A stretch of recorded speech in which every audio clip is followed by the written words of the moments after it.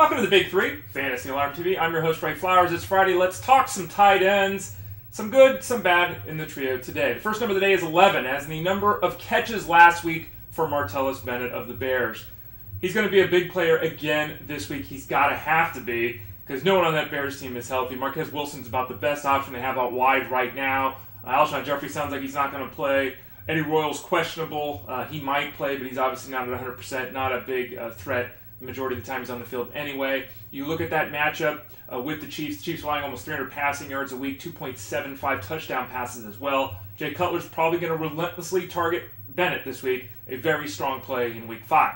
Second number today is 13, as in the number of targets last week to Charles Clay, and that number might continue, might be repeated in week five. We don't know if Sammy Watkins is going to play or not at this point. We know LeSean McCoy won't play. It certainly looks like the concussion is going to knock Karlos Williams out of action. Boobie Dixon isn't fully healthy either. It's going to be Herron who might lead this team in touches out of the backfield. Ugh. Yeah, Charles Clay is going to have to be the guy in the passing game, and he might be the player that's leaned on most heavily by Tyrod Taylor. He's got 100 yards or a touchdown in each of his last three games. A very solid play this week in number five.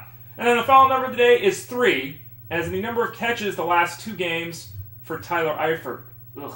He started out great with that huge effort, and since then it's been another disaster.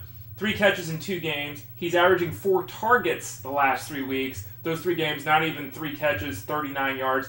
He's been a nobody in the offense unless he's getting in the end zone, which is something we haven't seen from him the last couple of games. Really hard to depend on him. The offense is going well. Andy Dalton's playing fantastic football right now. Four straight games with a QB rating of 115 or better.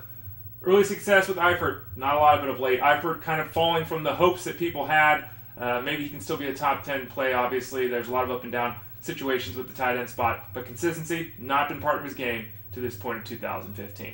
Big three, Fantasy Alarm TV. Thanks for joining me. Don't forget to visit us, fantasyalarm.com. Free Week 5 rankings. It's there for you. Take a look.